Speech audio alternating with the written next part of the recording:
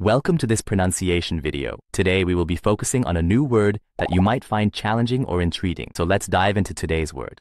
Bundestag, which means, the federal legislative body of Germany's parliamentary system.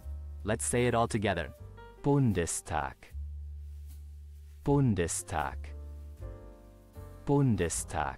One more time. Bundestag. Bundestag.